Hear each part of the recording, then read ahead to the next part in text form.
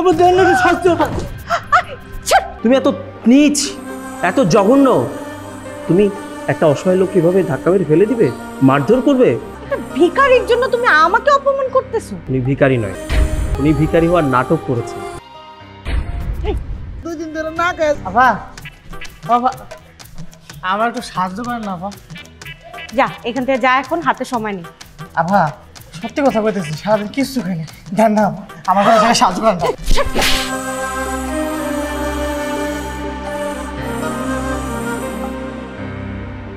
তো সাহস কত বড়? তোর এই নোংরা হাত দিয়ে তুই আমার গায়ে টাচ করিস? আভা সত্যি কথা কইতেছি। একদম কথা কবি না ফকিন্নির বাচ্চা। এমনি একটা শুভ কাজে আসছিলাম মোটটাই তুই নষ্ট করে দিছিস। সত্যি কথা আমি কিচ্ছু খাইনি আমার দেন না করে টাকা। বাবা আমার দেন না শাস্তি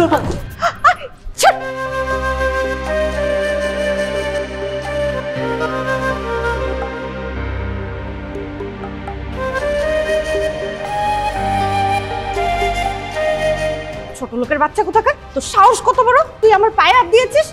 একদম জুতা দিয়ে পিটিয়ে লাল বানিয়ে দিব। কি হয়েছে এখানে? আরে কি হয়েছে দেখো না সে কখন থেকে আমাকে জ্বালিয়ে যাচ্ছে। তাই বলে তুমি লোকটাকে এভাবে ধাক্কা মেরে ফেলে দিবে?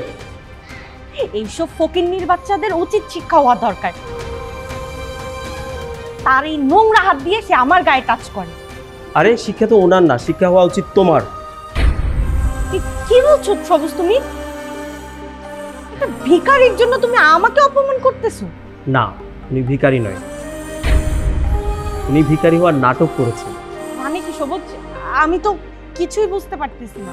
শোনো আমি যখন তোমাকে ভালোবাসি ভালোবেসে তোমাকে বিয়ে করার জন্য আমার বাড়িতে জানাই তখন আমার বড় ভাই আমাকে বলেছিল বিয়ে করার আগে মেয়েটি কেমন একটু যাচাই বাছাই করার জন্য। আর তুমি? তুমি এত নিচ এত জঘন্য। তুমি একটা অসহায় লোক কীভাবে ধাক্কা মেরে ফেলে দিবে? মারধর করবে? নো তুমি চৌধুরী বাড়ির বউ হওয়ার কোনো যোগ্যতাই রাখো না। আমি তোমাকে বিয়ে করব না।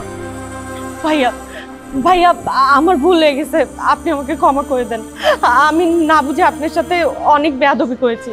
আমি আর কখনো এমন করব না। ভাইয়া আপনি আমাকে ক্ষমা করে দেন। ভাইয়া প্লিজ ভাইয়ার কাছে ক্ষমা চেয়ে লাভ নেই। যতক্ষণ পর্যন্ত তুমি তোমার স্বভাব পরিবর্তন করতে পারবে না তুমি নিজেকে শুধরে নিতে পারবে না ততক্ষণ পর্যন্ত আমি তোমাকে কোনোভাবেই মেনে নিতে পারব না আমি তোমাকে গ্রহণ করতে চাই না।